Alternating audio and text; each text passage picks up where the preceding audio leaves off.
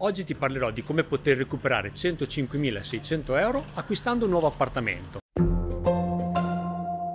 Ciao a tutti, sono Alberto di Abita. Oggi sono al mare, esattamente tra Bellaria e San Mauro Mare, dove verrà realizzato un nuovo fabbricato con 6 appartamenti e una casina singola.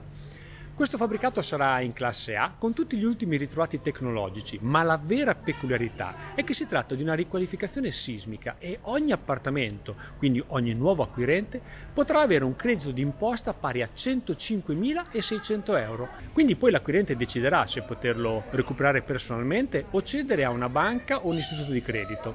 Hai capito bene? Se vuoi sapere maggiormente come funziona, contattami e ti darò tutti i dettagli e le informazioni necessarie.